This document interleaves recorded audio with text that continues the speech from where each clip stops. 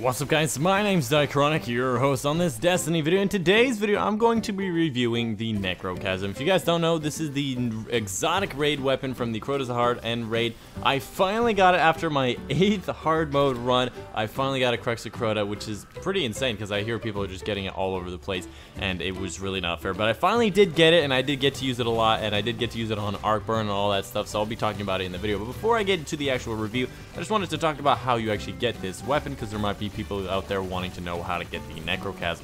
So basically what you need to do first is get a Husk of the Pit. To do this you have to kill the enemies called Sword of Crota, whether they be out in the wild on a patrol or in a mission. As long as you're killing the Sword of Crota, which I recommend just going on the Fist of Crota on normal, just kill him.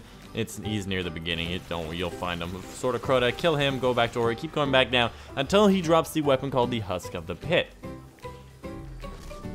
Once you got the Husk of the Pit, then you need to kill it like, I think, 5, 400, a hive with it. It'll, it'll show a bar when you click Y on it. It'll be like a bar that fills up. You gotta kill a lot of hive with it, and then you gotta get an embalming orb to upgrade it to the Eidolon Ally, which can be sold from uh, Eris for, I think, level 3 Eris or something. She'll be able to sell it to you, and then you can buy that, upgrade it to Eidolon Ally, then you have to fully upgrade the weapon with XP until you get to the last upgrade, which requires a Crux of Crota, which you have to get from the hard mode raid on the hard mode Crota raid, so you have to actually kill Crota, and it will have a chance of dropping, not a guarantee, and you do not have to grab Glowhu, because I did not have Glowhu on any of my times that I, uh, that I have it, uh, and I never had it when I actually did get it, so that's just a myth, and I don't worry about that. But anyways, once you do get it, one thing I wanted to mention is that you do not have to re-upgrade the Necrochasm. Right when I got the Necrochasm, it was fully upgraded, just like the Eidolon Ally, so you didn't have to upgrade it a third time, uh, which is actually pretty cool.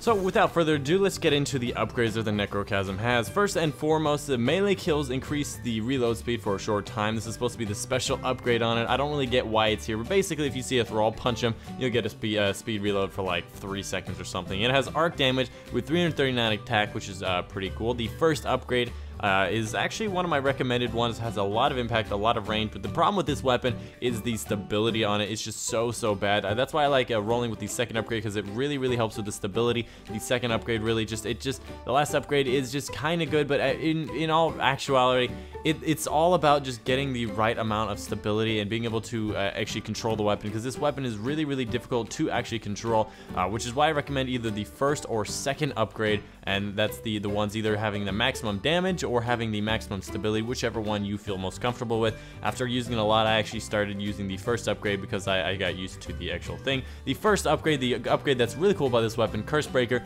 precision kills actually have a chance of frequently causing a cursed thrall explosion. From my experience, that's every like two out of three enemies that you get a precision kill, or three out of four enemies. It's very, very frequent. You do not have to worry about it not happening. So basically, uh, most of the enemies you kill with, with a precision headshot, you'll actually get the kill on it.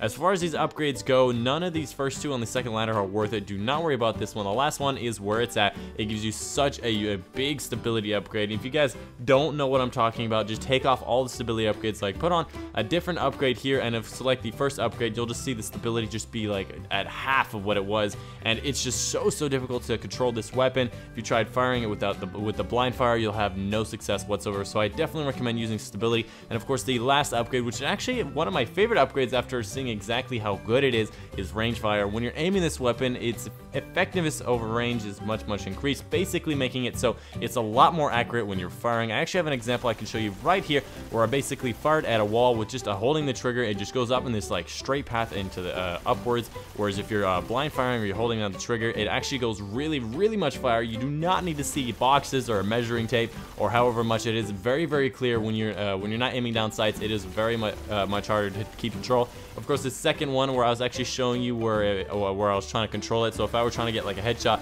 and I was actually uh, holding down on the analog stick, I was actually able to keep it in this like one little spot. But if I did blind fire it and try to control it, it was so so difficult. It just gets this giant path, basically like a shotgun spread of all the shots that just go everywhere. So if you guys are going to be using this weapon, aim down sights. There's basically no reason to blind fire this weapon because it's so, so hard to control with all these bullets going down range at such a high fire rate. Overall, I'd like to say this weapon is kind of average. For being the like Vex Mythoclast or the weapon that everybody wants to get that's so difficult to get, I'd say that this weapon is really not worth your time on getting. Uh, but uh, in a sense of just comparing it to other weapons, let's say it's an average weapon. Maybe a bit above average if using a certain scenario. For example, if you're at close range and you're fighting uh, people with arc shields or something, then it's actually pretty good. And with the arc burn on, I don't know what happens when there's arc burn. It just adds such a like a uh, an amount of damage to your weapon and such a, has a, such a high fire rate, it actually does really, really well in Arc Burn. So if you are uh, having a an Arc Burn, uh, you know, Nightfall Strike or Weekly Strike, make sure you put this on because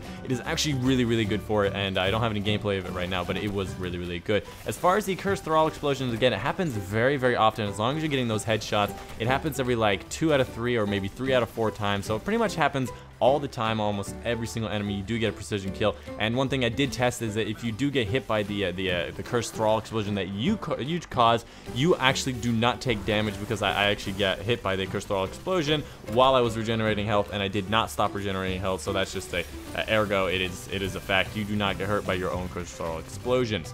Uh, one thing I wanted to mention is it does have 339 attacks as opposed to 331 where the other ones are. Uh, compared to the Vex who had like 23 more attack uh, from 300 than the other ones, it's really not much more of an upgrade. Maybe it is a little bit better on level 33s versus the 331s who are really good against level 32s. I don't know why this weapon has such a small amount. It's just not that good of a weapon and either it needs some type of buff or some type of way to make the stability go down or something to make it better, but this is not a great and amazing weapon. Uh, out of the, uh, uh, if I would have to rate it among the other weapons, I'd say it's a 7 out of 10, maybe an 8 out of 10, just for the fact that it, it is it is a decent weapon. It's not a bad weapon in any sense, but it's just not worth the time to be able to get it from the getting the Crux of Crota, fully upgrading it, getting the Husk of the Pit is really not worth the time that you, you put into it. But if you are going to be going for it, uh, might as well pop it on, get some experience for it, put it in for uh, some bounties if you ever have some uh, weapon experience you want to put on it. And if you are doing the hard mode raid, just get stuff and you get a Crux of Crota. Sure, pop it on. It is a decent weapon, but it is it's just nothing. Not It's not what it all is chuffed up to be. But anyways, that's the video for you guys today. I hope you guys enjoyed. Let me know in the comments down below what you think of the Necrochasm. I know a lot of people hate this weapon. I think it's a really, really bad weapon. I think it's just a reflection on how long it does take to get this weapon. Uh, but yeah, let me know in the comments down below what you think of it, what you think uh, people should do into, or uh, Bungie should do to improve it if you don't think it's good enough. And I want to I want to see something that like you actually think, not just say, hey, it could add more damage. A lot of things you could just add more damage. Maybe there's something special or specific about this weapon that you could do to it to make it a lot better. You know, like for example, the last word, I thought if it would just make it so much more of a fun weapon if you were to just uh, add the reload time and make it so actually you can really, really fast reload. Uh, but anyways, that's the video for you guys today. I hope you guys enjoyed. And if you did like it, make sure you leave a like down below and show me some, some support on this series. It does take a lot of time to actually upgrade these weapons, find a lot of these weapons. And for fuck's sake, it took me eight hard mode Crota raids to actually get this thing. Uh, so I'm so happy I finally did get it. But anyways, that's the video for you guys today. And I'll see you guys on the next one.